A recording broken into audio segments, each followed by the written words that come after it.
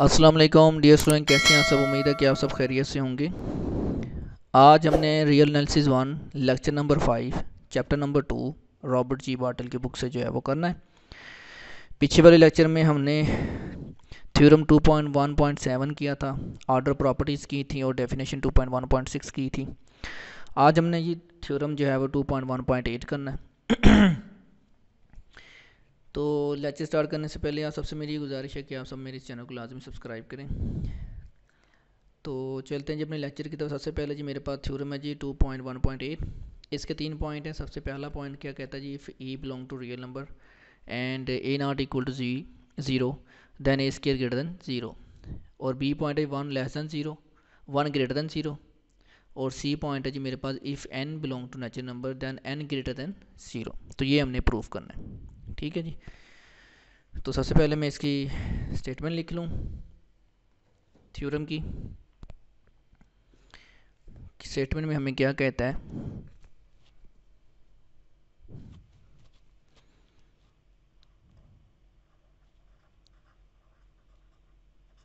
Theorem है जी मेरे पास 2.1.8 पॉइंट ए में हमें क्या कहता है जी वो?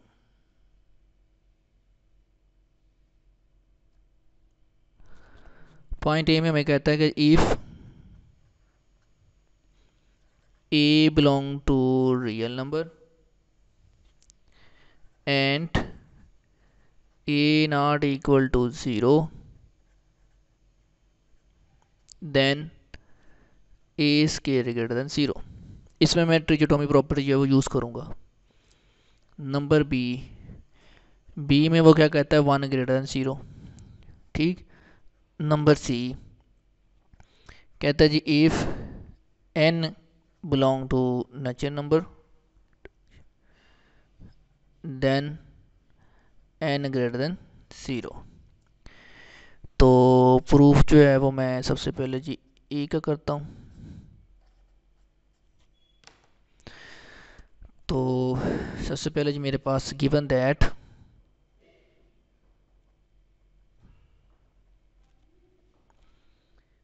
given that if a belong to real number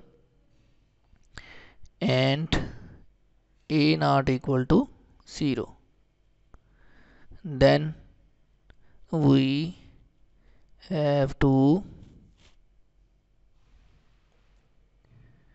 prove that तो हमने क्या साबित करना है कि ए स्केयर जो है वो ग्रेटर देन है ज़ीरो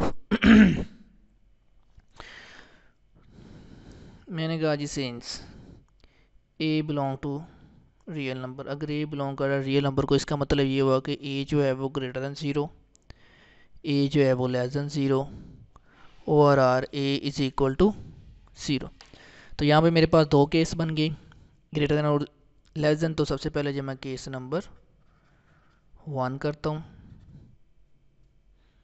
ठीक?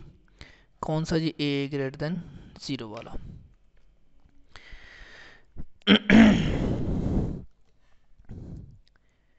if a greater than zero अगर मेरे पास a greater than zero then a square is equal to a dot a क्योंकि मैंने पॉजिटिव लेना है।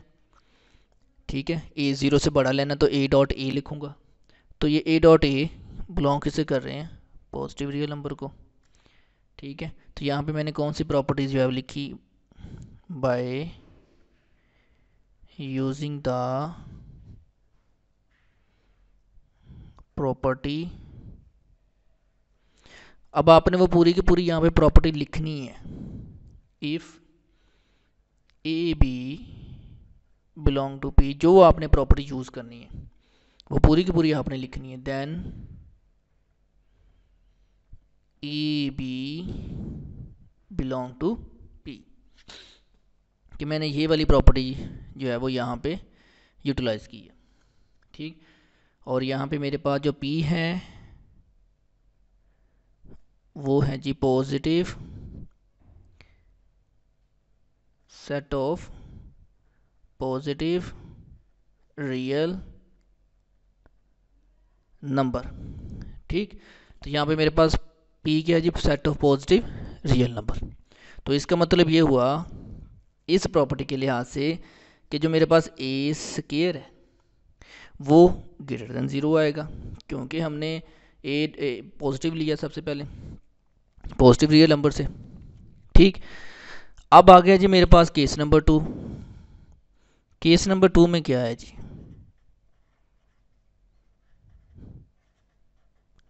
अब यहाँ पे हमने लेस देन ज़ीरो लेना है। केस नंबर टू में। इसमें मैंने क्या किया जी? If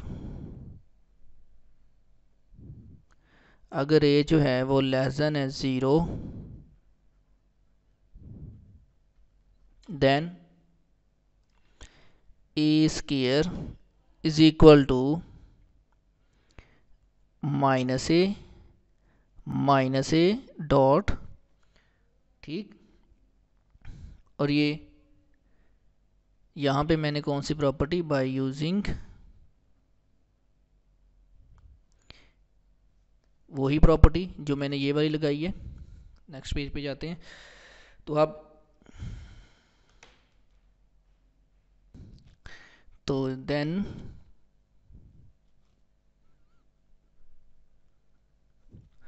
a square is equal to minus a minus a तो यहाँ पे by using the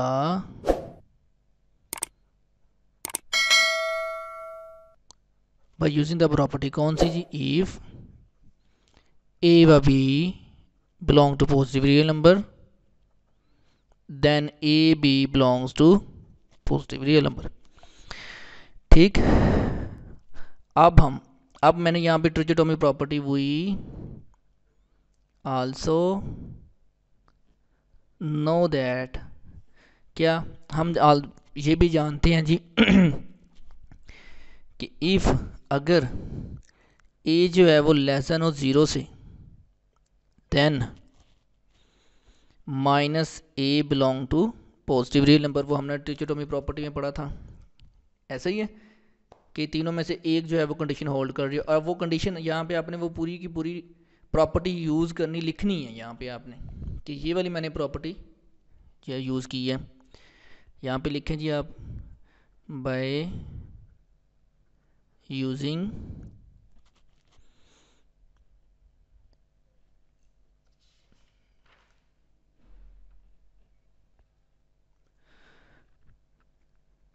ट्री जो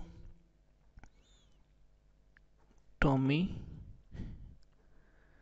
प्रॉपर्टी अब बाय यूजिंग ट्रिचोटोमी प्रॉपर्टी आप ये भी लिख सकते हैं और इसके बाद आप पूरी की पूरी ट्रिचोटोमी यहाँ पे प्रॉपर्टी भी लिख सकते हैं अगर आपको याद है तो।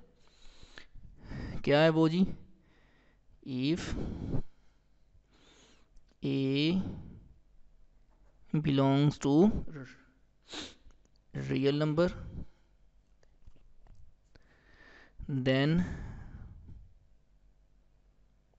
exactly one of the following hold. ठीक? क्या जी? वो क्या थी कि a belong to positive real number minus a belong to positive real number या फिर or or a is equal to zero ठीक? तो इसका मतलब ये हुआ कि जो मेरे पास ए स्केयर है, वो बिलोंग कैसे कर रहा है जी? पॉजिटिव रियल नंबर ये में ही मैंने प्रूफ करना था.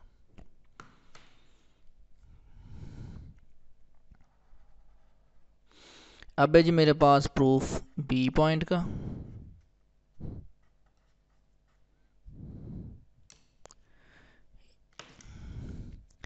तो यहाँ पे आप लिख सकते हैं कि ए स्केयर ग्रेटर देन है ज़ीरो अब यहाँ पे जी मेरे पास वो प्रॉपर्टी सेकंड पॉइंट था कि वन ग्रेटर देन ज़ीरो तो इसके अंदर भी मैंने यही प्रॉपर्टी जो है वो लगानी है। कौन सी वाली? ये जो पीछे वाला पॉइंट हमने प्रूव किया है। अच्छा जी सेंस मैंने कहा जी सेंस वन जो है वो इक्वल है वन के स्केयर के? ठीक? तो इट फॉलोज दैट तो इसने ये फॉलो किया इसको if a belong to real number and a not equal to 0 then a square greater than 0 तो 100 जो मेरे पास वन है, वो हमेशा ग्रेटर देन ज़ीरो होगा। पीछे वाला जो पॉइंट है, वो मैंने यहाँ पे यूज़ किया, वो उसकी by using it follows that इसने फॉलो किसको किया जी? If a great belong to real number and a not equal to zero then a square greater then zero तो यहाँ पे मैं लिख सकता हूँ कि one square greater then zero और वन ग्रेटर देन ज़ीरो तो ये मेरा प्रूफ हो गया। आगे मेरा प्रूफ पॉइंट सी का। सी पॉइंट हमें क्या कहता है जी?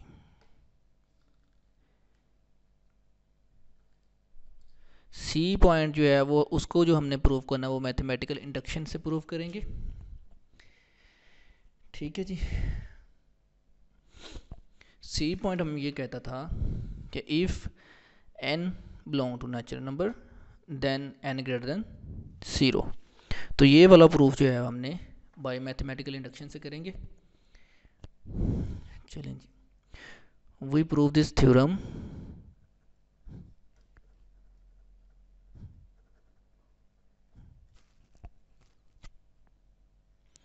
या दिस स्टेटमेंट कर लें हम। You prove this statement by using the principle of mathematical induction ठीक मैथमेटिकल इंडक्शन तो सबसे पहले जी मेरे पास for n is equal to one सबसे पहले मेरे पास क्या जी? For n is equal to one तो जब मैंने वन लिया तो जो वन है मेरे पास, वो बिलोंग किसे कर रहा है जी? नेचुरल नंबर को. एंड जो वन है, वो ग्रेटर देन है ज़ीरो ठीक है? इस स्टेटमेंट के अंदर यहाँ पे देखिए, मैंने वन लिया वन बिलोंग कर नेचुरल नंबर को, और वन जो है वो ग्रेटर देन है zero next this statement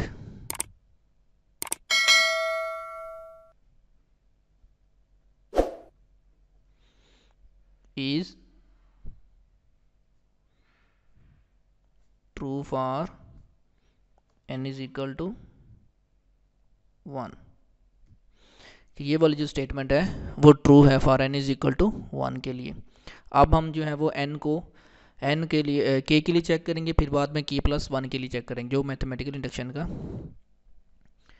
condition है। ठीक है जी? तो सबसे, अब है जी मेरे पास वही कंट्री suppose that we कंट्रोलरी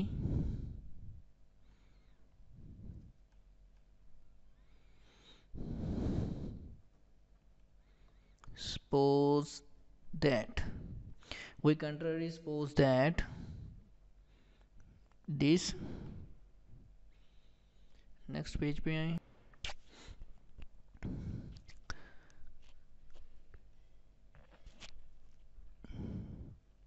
this statement is true for n is equal to k. एस मैंने कहा जी के जो है बिलोंग किसे कर रहा है? नेचुरल नंबर को। एंड जो के है वो ग्रेटर देन है zero now we are to show that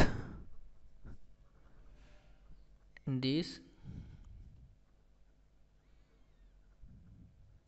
statement is true for n is equal to k plus one अब हमने शो करना है कि जी, ये जो स्टेटमेंट है वो के प्लस वन के लिए भी सेटिस्फाई है, ये ट्रू है। तो मैंने कहा जी सीन्स मेरे पास जो के था, वो बिलोंग किससे कर रहा था? नेचुरल नंबर को एंड वन भी मेरे पास था, वो भी नेचुरल नंबर को बिलोंग कर रहा था। वेयर जो के है वो ग्रेटर देन ज़ीरो है एंड जो वन है वो भी ग्रेटर देन ज़ीरो है. तो also k plus one belong to natural number where k plus one greater then zero तो ये भी प्रूफ हो गया. तीनों जो कंडीशन थी वो प्रूफ हो गई है मैथमेटिकल इंडक्शन की. This statement is true for n is equal to k plus 1 hence the principle of mathematical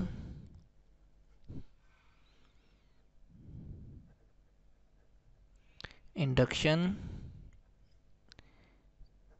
is complete and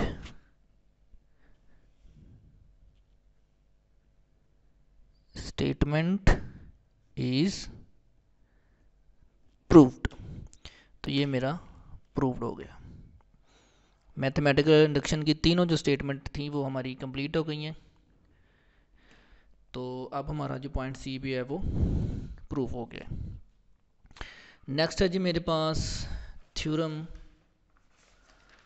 2.1.9 theorem 2.1.9 में वो हमारे पास हमें क्या कहता है? कहता है कि जी if a belong to real number is such that zero less or equal to a a less or equal to epsilon for every epsilon greater than zero then a is equal to zero है जी तो अब हम इसका proof करते हैं जी। मैं इसकी पहले स्टेटमेंट लिख लूँ। थ्योरम है जी मेरे पास।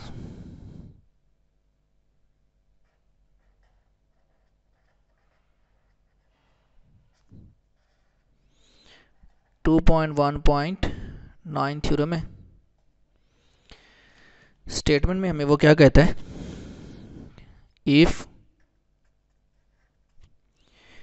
a belong to real number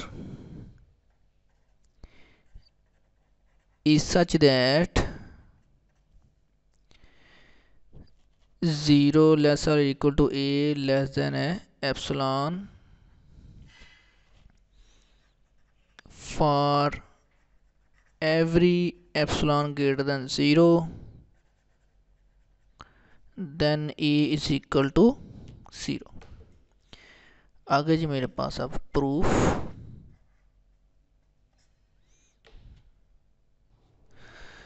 चलें जी, इसका प्रूफ भी हम कंट्रडिक्शन से करेंगे। चलें suppose that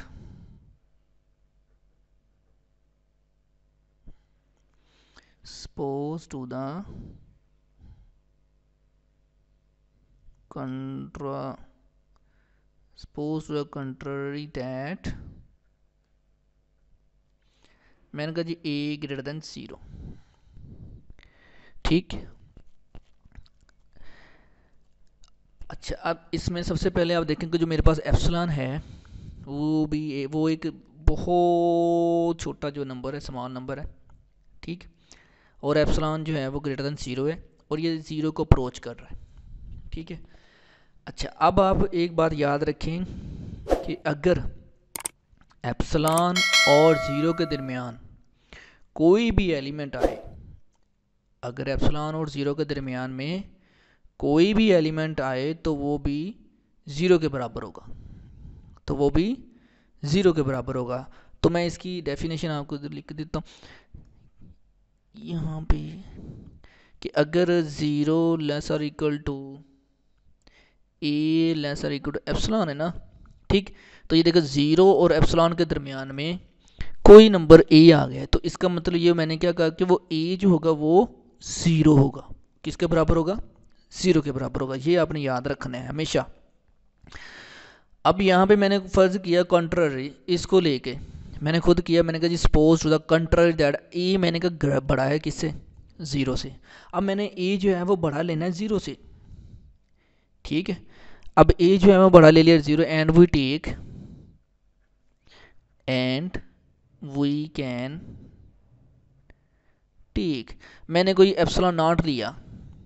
ज़ीरो से बड़ा ले लिया। मैंने कहा जी one by two a one by two a zero से बड़ा होगा ना। ठीक, जब मैंने एप्सलॉन नॉट लिया वन बाई टू ए तो इस कंडीशन के लिहाज से अब मेरे पास कंडीशन क्या बनेगी? वेयर ज़ीरो जो होगा, वो लेस देन होगा किससे? वन बाय टू एट से, यानी कि एप्सलॉन नॉट से। और एप्सलॉन नॉट जो है, वो लेस देन होगा ए से। ठीक है? तो यहाँ पे आप देखें कि ये मेरी जो कंडीशन थी, वो तो उल्ट हो गई। मैंने आपको क्या कहा था कि जो सेंटर में एलिमेंट आया करेगा, जो हमने, मैंने ए लिया, जो है, वो जो है, वो ए से छोटा होना, यानी एप्सलॉन से छोटा होना चाहिए।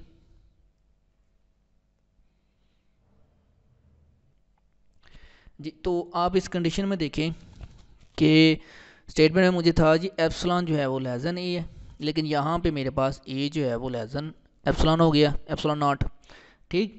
तो इसका मतलब ये हुआ कि देयर फॉर कि जो ए है वो ग्रेटर देन एप्सलॉन नॉट होगा विच इज़ कंट्राडिक्शन तो ये मेरे पास कंट्राडिक्शन होगी which is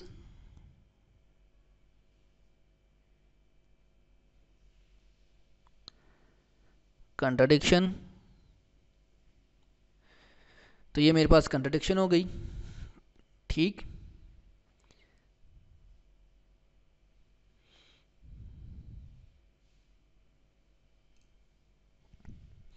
Which is contradiction this fact that a an epsilon तो a is equal to zero हो जाएगा, यानी कि a is equal to zero ठीक है जी। तो ये तो था जी मेरा थ्योरम 2.1.9 तो नेक्स्ट लेक्चर में इंशाल्लाह हम जो है वो थ्योरम 2.1.10 जो है वो करेंगे। तो तब तक के लिए अपना ख्याल रखिए जी, अल्लाह हाफिज़। शुक्रिया।